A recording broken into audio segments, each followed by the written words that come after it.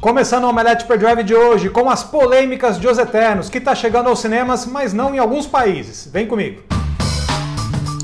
Antes da gente começar com as notícias, eu tenho um recado muito rápido, tão rápido que parece a entrega do Mercado Livre. No Mercado Livre você encontra de tudo, desde material para você construir o seu cosplay até o melhor do universo dos games, e sempre com uma entrega muito rápida, uma entrega turbo. Parece até que o Flash está trabalhando para o Mercado Livre. Aqui na descrição do vídeo você encontra um link que você pode acessar aí e entender por que, que a entrega do Mercado Livre é famosa por ser tão rápida assim.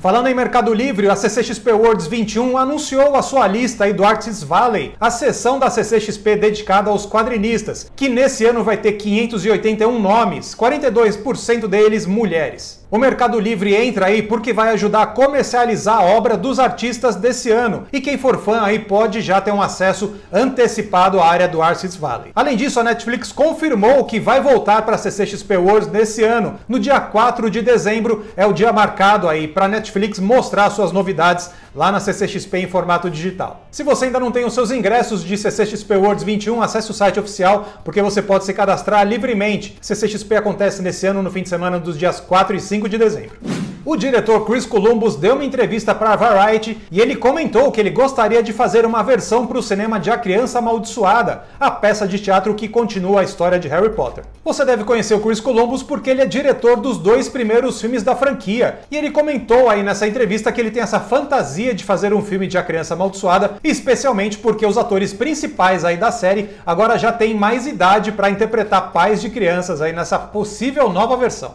A diretora Amber Templemore Phillipson, que dirigiu episódios de Gavião Arqueiro, comentou aí que o Ronin pode aparecer na série de TV. Ou seja, a aparição aí da versão sombria do Clint Barton em Vingadores Ultimato não foi a última vez que a gente viu aí o Ronin nas adaptações, nas telas. A gente vai ver aí um vislumbre desse lado sombrio do personagem na série de TV, que vai chegar aí no Disney Plus no dia 24 de novembro.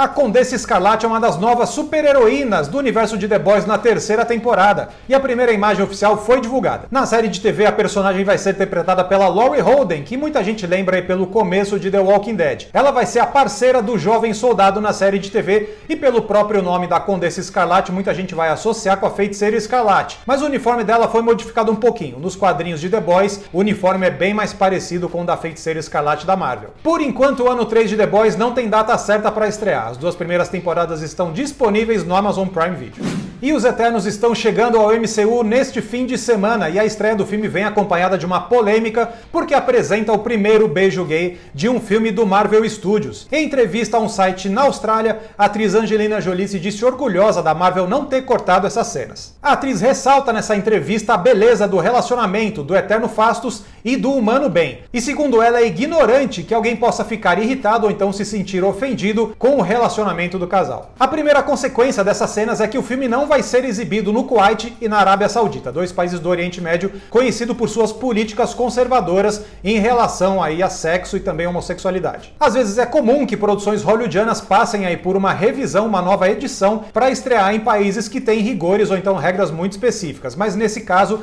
a Marvel e a Disney não aceitaram cortar o filme dos Eternos. Nessa sexta-feira mesmo a gente fez uma live aqui no Omelete para dar as nossas opiniões sobre os Eternos e nos próximos dias tem mais conteúdo vindo por aí. Então já assine o canal, dê aquele like no vídeo para espalhar para mais gente e também aperte o sininho para ser lembrado sempre do Omelete Per Drive. A gente volta no próximo. Bom fim de semana. Tchau!